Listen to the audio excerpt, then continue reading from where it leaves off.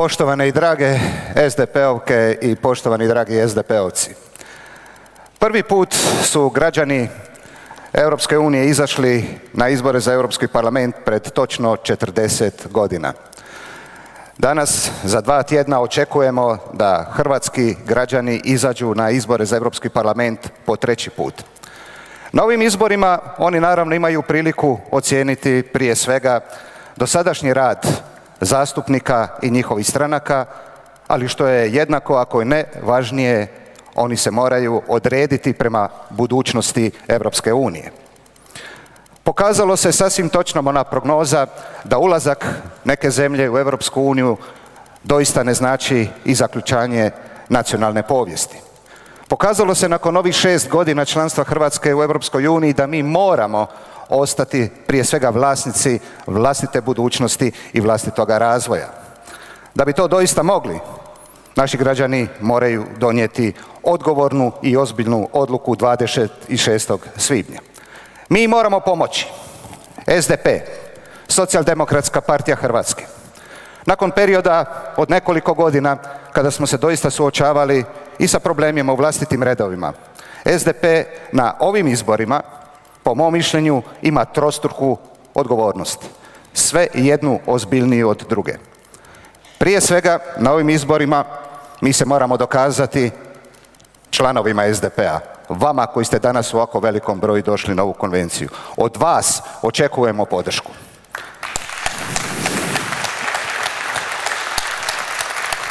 Jednako tako, Socijaldemokratska partija Hrvatske se na ovim izborima prije svega mora dokazati hrvatskim građanima. Socijaldemokratska partija Hrvatske je duboko ukorijenjena u povijest Hrvatske. Ja volim isticati i ovo je prilika da se to ponovi. Hrvatska socijaldemokracija, hrvatska ljevica je stara 125 godina. Nešto mlađa od Njemačke, ali starija od Švedske. Prema tome, socijaldemokracija na ovim izborima mora se jasno obratiti hrvatskim građanima. I treći aspekt naše odgovornosti je da pojačamo, da se pridružimo svim onim progresivnim snagama u Europskoj uniji koji žele nadograditi nadograditi europski projekt. A ovi izbori doista se održavaju uvjetima u kakvima nikad ovih 40 godina nisu se održavali izbori za Europski parlament. S jedne strane nalaze se oni koji bi ideju Europske unije ažurirali, nadogradili, ali s druge strane, kao nikad ranije, nalaze se oni koji bi ideju i projekt europskog zajedništva anulirali. Pozicija SDP-a je potpuno jasna. Mi želimo doprinositi Europskoj uniji koja se razvija i koja izlazi u susret europskim građanima. Ali da bi to mogli, doista moramo ponuditi nešto što ljudima znači u svakodnevnom životu. Evo i u ovome filmu i moji dragi prethodnici na ovoj pozornici istakli su mnoge argumente zahvaljujući kojima mi nastupamo u ovoj kampanji pred našim sugrađanima doista gledajući ih u oči. Ali još jednom trebamo istaknuti. Osobito mi je drago da smo istaknuli u našem predizbornom programu riječ koja ovoga trenutka posebno dobiva na političkoj težini. To je ravnopravnost. Ali kakva ravnopravnost? Ne kao abstraktni pojam. Ravnopravnost građana. S jedne strane, svaki građanin mora imati osjećaj da Europska unija, odnosno njezino djelovanje, donosi korist njemu i njegovoj obitelji. S druge strane, ravnopravnost sredina, regija. Regija u Hrvatskoj, ali i europskih regija. Obilazeći Hrvatsku doista se lako može uočiti jedan sve veći disparitet između pojedinih dijelova Hrvatske. Ako Europska unija sa svojim iskustvom, svojim sredstvima ne pomogne uklanjanju razlika između pojedinih regija, doista onda samu sebe dovodi u pitanje. I naravno treći aspekt ravnopravnosti je ravnopravnost države kao takve, članice Europske unije Republike Hrvatske. I kad podvučemo crtu nakon šest godina članstva, ne možemo biti zadovoljni. Kada smo ulazili 2013. neka opća razina razvijenosti Hrvatske u odnosu na prosjek Europske unije bio je 61%.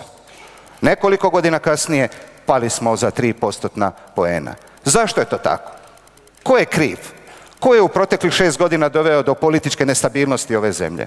I tko ne uspijeva iskoristiti mogućnosti koje su drugi prije nas uspješnije koristili? Potpis pod taj retrogradni proces ima naravno jasno očitovanje. To je HDZ i to su HDZ-ove vlade. I to moramo istaknuti i danas. Doista, Hrvatska je među manjim članicama Europske unije. Teritorijalno negdje smo na 20. mjestu, po broju stanovnika 21. Naš bruto društveni dohodak je otprilike na 21. mjestu, ali po glavi stanovnika tek smo 26. Nažalost, po onome što bi trebali naravno iskoristiti kao mogućnost, nalazimo se na predzadnjem mjestu. I to trebamo popravljati. Znači ravnopravnost. Ali jednako tako moramo se boriti za bolje korištenje kohezijskih sredstava. I nije kriv Brisel. Nije kriv Brisel zašto što se ta sredstva ne koriste kako treba. Nama je Europska unija u tekućem financijskom proračunskom periodu dodijelila, dala kao mogućnost 10 milijardi i 600 milijuna eura. Po glavi stanovnika, znate, to je, mi smo na šestom mjestu, ali po korištenju, kao što sam rekao, negdje smo predzadnji. Prema tome, budućnost našeg članstva i osjećaja korisnosti među našim građanima doista moramo vezati za bolje korištenje kohezijskih fondova. Ono što je izrazito važno za socijaldemokrate i u toj bitci moramo sudjelovati daleko energičnije je budućnost socijalnih i radnih prava u Europskoj uniji. A ona su pogotovo u zadnjih deset godina ugrožena.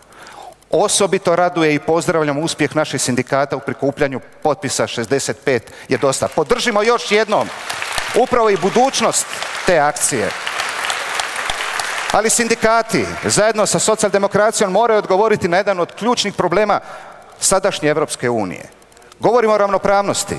Kako razvijati ravnopravnost u zajednici u kojoj 4% najbogatijih ljudi ovoga trenutka kontrolira 40% privatnog vlasništva? A to je trenutna socijalna slika Europske unije. Ili još jedan zabrinjavajući podatak.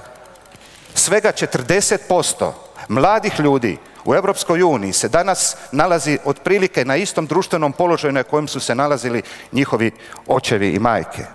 Čak je bolje u Sjedinjenim američkim državama.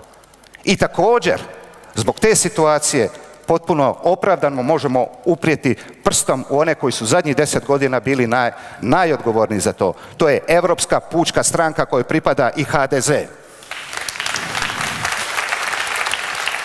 Ravnopravnost. Da, ravnopravnost u Europskoj uniji. Ali kako je Europskoj uniji?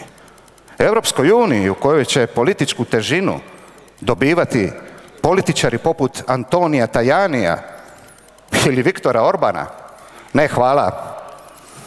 Mi se moramo suprotstaviti svemu onome što duboko kompromitira temeljne vrijednosti europskog projekta, a to je sloboda, razumijevanje među ljudima i narodima, ekonomski prosperitet.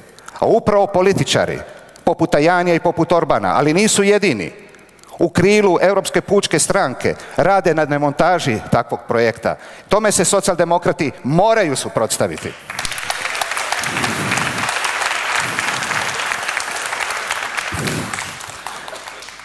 I na kraju, gdje možemo dati naravno naš doprinos? Prije svega ja vidim još jednu liniju podjela u današnjoj Europskoj uniji, ali i u našoj zemlji. Te su linije imati i nemati, o tome sam nešto rekao, citirajući porazne statističke podatke. Druga linija je znati i ne znati. Kad to kažem, mislim na ravnomjernije, ravnopravnije korištenje tekovina trenutne, četvrte, digitalne revolucije koja doista prožima sve djelatnosti u kojima ljudi žive i rade. Ne mogu plodovi te digitalne revolucije biti isključivo dostupni ljudima u velikim i većim gradovima. Nažalost, i obilazeći Hrvatsku, ali Europsku uniju, vidim da su mnoga mala mjesta, seoske sredine, isključene iz korištenja upravo rezultata te tekuće digitalne revolucije koja je u mnogome obilježila uvjete u kojima ljudi žive i rade.